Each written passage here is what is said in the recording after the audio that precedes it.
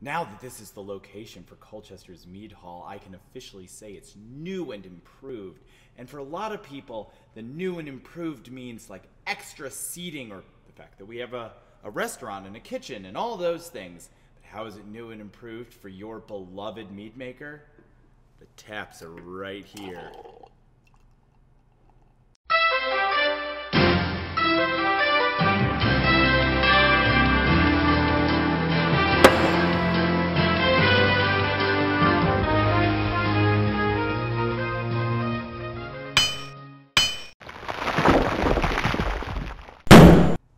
Welcome to Ask the Mead Maker, where I, Ricky the Mead Maker, answer your questions about mead making, mead drinking, mead brewing, and really, any question you're willing to send to me. Our first question this week is a follow up from something a few weeks ago. Azazel wants to know what I think the best way to clarify mead is. And I wrote an article about this a little while back, and I'm sure there's a link to it below me. But he wanted to know if it's like gelatin or egg or simply waiting. Well, the answer is simply waiting usually does the trick. But if it doesn't, after maybe a year, more time isn't going to help.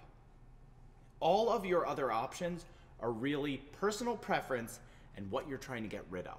If you have fruit in there, you have a haze, it's probably a pectin haze, so using some pectic enzyme would help.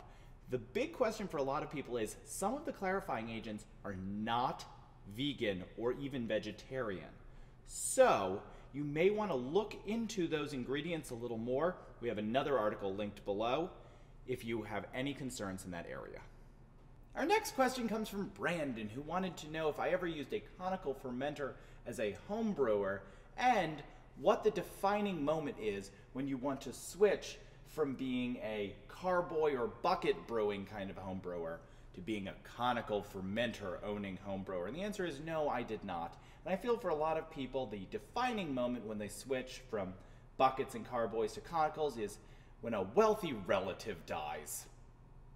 Brandon also wanted to try his hand at making a craft mead, and his concern was that he likes his meads a little sweeter.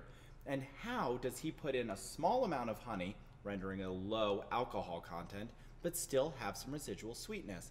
Should he take readings every day and simply stop it with sorbate when it gets low enough? Well, that's certainly one option. Another way to do it is to let it ferment all the way dry, add your sulfites and sorbate, and then add sugar in the form of honey or something else back.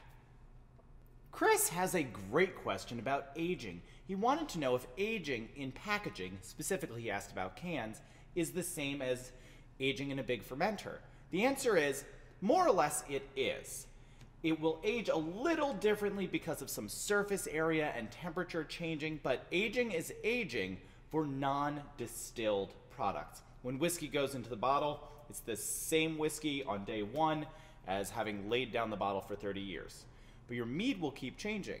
He also wanted to know if carbonation affects or stops aging in some way, and the answer is not really, as far as I know. This episode feels weird, right? Like I'm just answering the question and moving on. I don't know what's going on.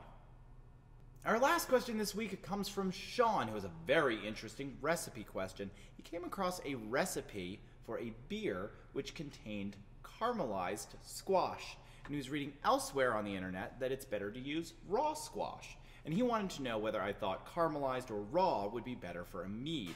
The answer is caramelized squash will bring a sort of caramelized and caramely flavor to your beer, and fresh squash will bring sort of a pumpkiny, fresh flavor. But I think what he's missing is a big piece of the difference between brewing beer and brewing mead. That roasted caramelized squash is being added in the mash of the beer. That means that the enzymes in grain, alpha and beta amylase, and a few other lesser ones, are breaking down the starches into sugars. You're getting additional fermentables, things that will be turned into alcohol by adding squash to a mash for a beer.